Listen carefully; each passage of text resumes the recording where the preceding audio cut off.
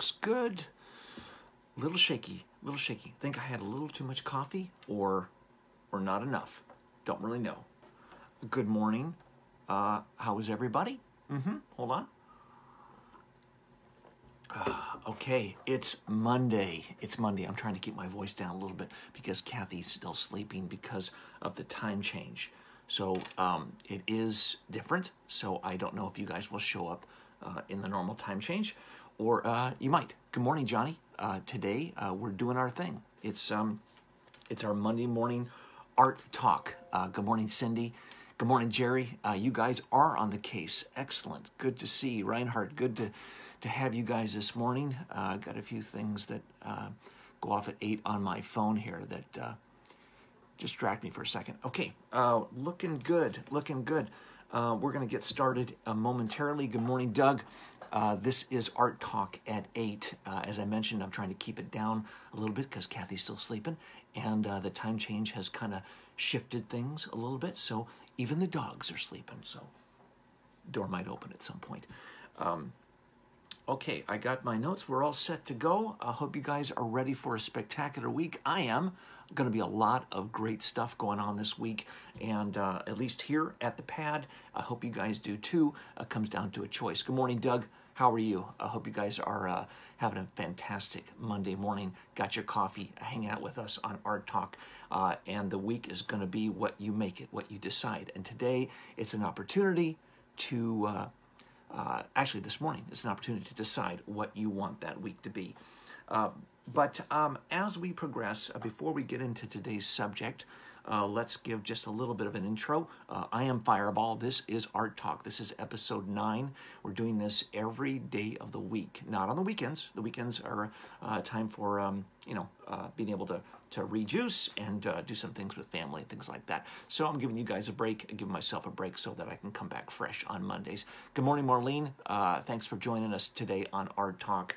Uh, this is where uh, I'm helping you guys to um, inflict some serious creative pain upon the world, some you know good pain, uh, some uh, uh, putting your creative powers together, and hopefully through that process, you'll be able to create good things in your life uh, and for other people.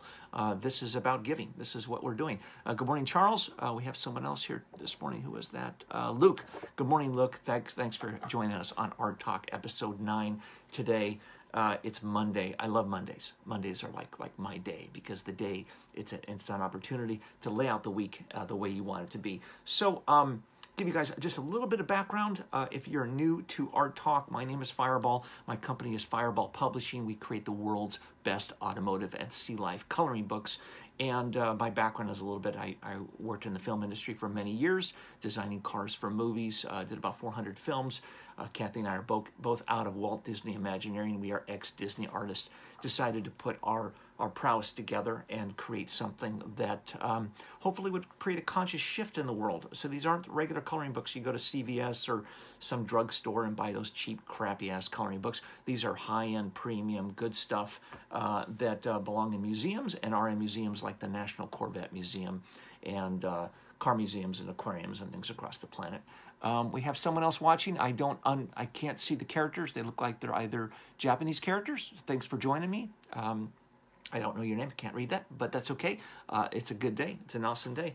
Um, uh, we also have our vlog, which is Fireball Malibu Vlog. You can watch it on our website, fireballtim.com, or on YouTube. Uh, the show is basically Cars and Beach Life. And uh, we hang out 900 plus episodes. I think uh, 905 was the latest, uh, featuring Johnny Martinez, who is watching us this morning, and his amazing pinstriping talents.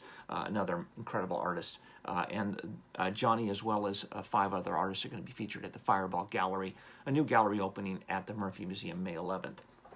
Okay, this is live uh, uh, Art Talk is live. That means that you can ask questions, you can interact with each other. Good morning, Dennis. Um, if I make a comment and you want to make a comment on that comment, or do you want to ask someone a question, you can do that all in the in the notes down here. So, um, uh, well, you for you guys, you can leave a comment and uh, interact. And the more that we put into this, the better it's going to be. So, uh, I want you guys to help each other. I certainly want to help you, and there is a, certainly an opportunity for you to help me. If I say something that doesn't gel, uh, something that uh, you feel uh, you disagree with, that's okay. We want to keep things positive, um, and so, but let me know if you want uh, to make us aware of something. Uh, you know, we don't necessarily want to advertise uh, have you guys advertising things on here, and I hope that you can respect that. But if you have a, a, show that's coming up, some something that that people can interact with and have a good time, of course, share it. Not a big deal who else we got? Uh, Tanya, thanks for joining me. We also have, uh, who else we got? Charles, very cool. Okay, so we're going to move forward. Uh, uh, the last thing I ask you to do is that, of course, if you get anything out of this this art talk, this is episode nine. Please share it. You know, let the uh, let your friends know, let your community know. Uh, they can come and interact with us. It's a big freaking art party. That's basically what it is. Uh, and uh, and so with that, we're to move on. Okay, you guys ready? You guys good? Okay, today's subject. Um, something I think that we all deal with. Uh, it's a, a certainly a challenge, and as a creative person, whether you're an artist or a sculptor, a photographer, a builder, uh, pinstriper, or uh, uh building a business, whatever it is, is that there there's a term that that we always joke with, and that is uh, a, a, James Bond reference. There's Dr. Knows in the world, and the Dr. Knows are the people that tell you um, you can't do something, or it's going to be difficult, or there's going to be challenges, or there's going to just somebody that's trying to throw a wrench in, and they aren't necessarily conscious of that. Um, and so today's subject is dealing with negative people. Is that how do we deal with negative people? How how do you how do you succeed and move forward when you have somebody that's right here kind of bitching at you. Uh, and, and that could be a boss, that could be your husband or wife, or that could be a, um, a sibling, it could be anybody. It doesn't really matter.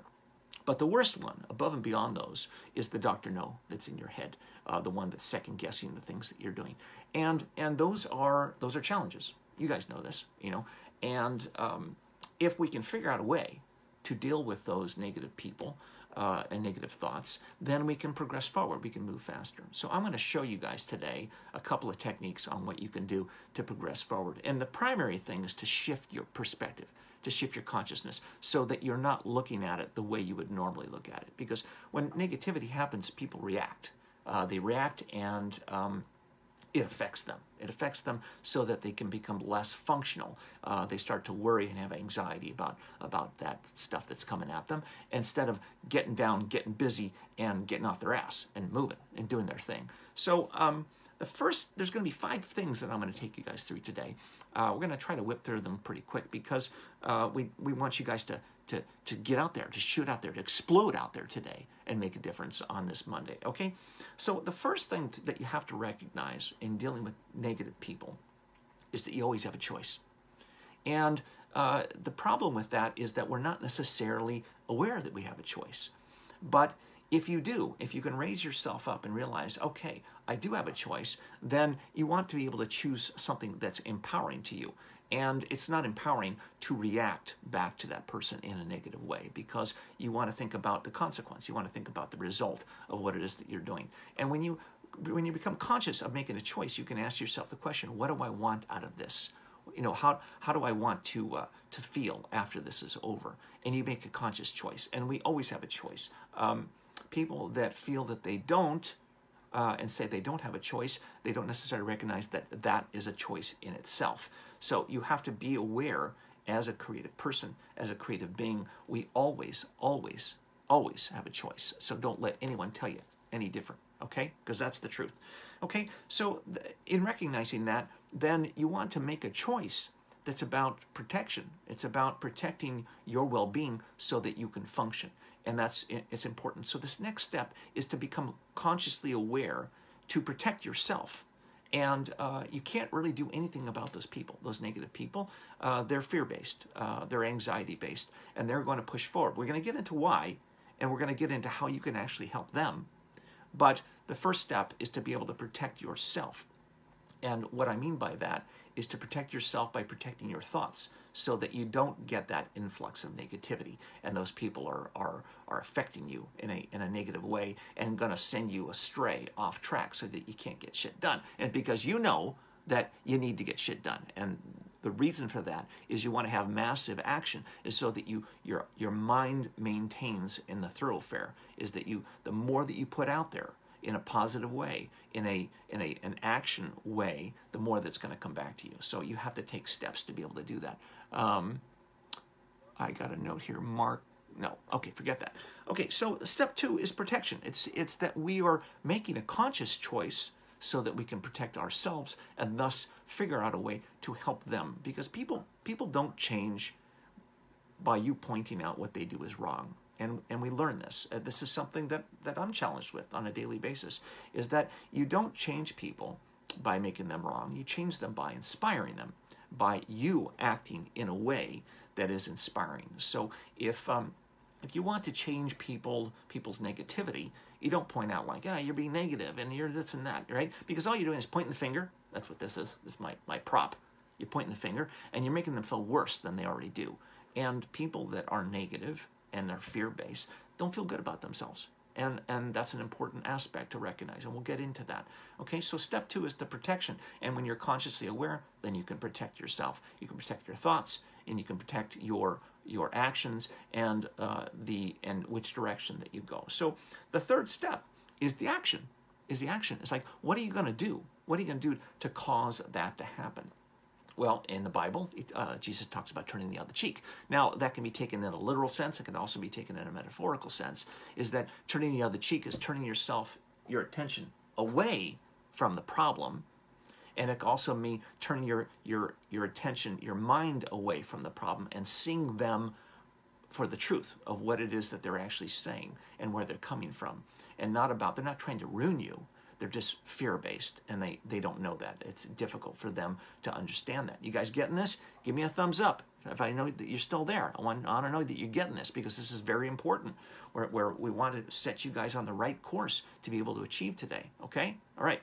So the third step is the action. So what action am I going to take if, if I want to make sure that I'm moving in the right direction for myself? So that limits your actions. No longer are you reacting. You're, you're being strategic about the action that you want to take so that you feel good today.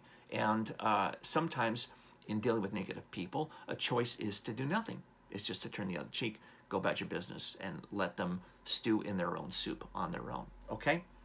Uh, the fourth step, choice, protection, action, and the fourth step is about maintenance. It's about maintaining that that choice and and that can be a challenge because you might have to deal with someone at work that's constantly negative to, at you you know so you got to build that muscle you got to build that muscle and you got to maintain and make sure that that you are constantly checking back with yourself checking back even if it's every couple of minutes check back it's like how am i feeling Am I doing good? Yeah, okay, let's move forward. Okay, so it's important to recognize that and to uh, to stay on track so that you can get these things done and not be affected by uh, the Dr. Knows of the world. Okay. The fifth step and the most important step is uh, going to help you shift your perspective. Okay, so we talked about uh, that you have a choice to, to, to make, um, and it's about protecting yourself and protecting your own thoughts uh, and it's the, the it keeps you on the right actions and what action do you want to take so that you feel good and you can move forward. And the fourth step is about maintenance okay? The fifth step is about compassion and understanding is that if you can get an idea with these negative people let's say you're driving along and someone uh, cuts you off or someone gets mad at you and they get out of the car and they walk up to your window and they start knocking on your window uh, fear comes up anxiety what's this person going to do? But when you have compassion and understanding uh, that there's something going on in this person's life that is having them make poor decisions because poor decisions are based out of fear. Poor decisions are based out of anxiety. And um, uh, when we feel those things, we never make a good decision. Uh, and that's important to never make a decision when you're fear or you're anxiety based. And you want to take five or six breaths, deep breaths, close your eyes, focus, bring that attention away from the, the fear based property back in the back of the head up to the prefrontal cortex so that you can think clearly, okay? And you can make a decision. But these people aren't necessarily doing that, and you don't know why. So you can't, so getting mad at them or having fear or um, uh, uh, reacting to them in a negative way is taking us back to the very beginning. And we don't want to do that. We want to be able to take a breather, try to relax and get some perspective. So when you have somebody that's coming in and telling you that you can't do something or that it's going to be difficult, things like that, then um, uh, you have to see where they're coming from. And they're coming from uh, fear and anxiety. What if it fails? What if it doesn't work out? And you can't afford to go back there. You have to maintain yourself. You have to protect yourself. And compassion and understanding for that person is going to help you get the perspective that you need to maintain your strength and to move forward. Make sense? Make sense? Five steps. Five steps. I know it's a lot. Okay? But as a creative person, as a person that that wants to create goodness in the world in whatever way that you want to create goodness, uh, whether you want to uh, start a new business and build a product, uh, whether you want to uh, design clothing, um, whether you want to be in your garage and build your car, whatever it is, there's going to be people that are going to come and see that stuff, and they're going to make comments that that where you're faced to have a choice, and the choice is to to concede to that comment and to believe what they're saying, or to stay put, stand your ground, focus, and move forward, and see them for for what they're going through, and have compassion and understanding for them. Okay, that's the subject for today. I hope you guys got a little bit out of this. Once again, if you did, if this is helping you in any way, then uh, share it with uh, with friends and family, with anybody else, because this is helping me on a daily basis. It's something that it's, it, we're running a marathon, people. We're not not it's not a sprint. You don't learn this and become an expert. Uh, you do this on a daily basis, and you have your own challenges. I have my own challenges today, and I'm sure you guys do too. But I want you to have the best possible week, and you can do that. You will do that. You are doing that. Okay. All right. So uh, as a last thing, uh, please share that. I appreciate you guys. I love you guys. I appreciate that you guys are hanging out with me today. I can't tell you how much it means to me that you, you want to spend a little bit of time with me in the morning. You know, it's pretty cool. Uh, it's like we're having coffee together and talking. Okay. Um, this week, actually tomorrow, I'm going to be with Bob Beck on the Gas Radio Show, so I hope you'll listen to that. Uh, just Google Gas, G A A S, and Bob Beck, uh, and uh, you can join us and listen up. And we're going to be talking about all kinds of cool car shows that are happening that are coming up. And uh, I'm going to be driving. Uh, I have the Chevy Bolt, and I'm going to be that's going to be swapped out for the Hyundai Santa Fe. That's going to be on the vlog uh, this week, so we're going to be driving that and uh, the Fireball Gallery is heating up, man. It's heating up. There's going to be an amazing artist. We just got a street artist called Bohemia Incorporated. You guys are going to dig them. They're out of control. Just go to Instagram, hit up Bohemia Incorporated, check out their stuff. They're doing a specific piece just for us, and it's serious. It's going to be serious. Uh, May 11th is the premiere for that event. That's going to be very exciting. You guys are going to have a good time with that.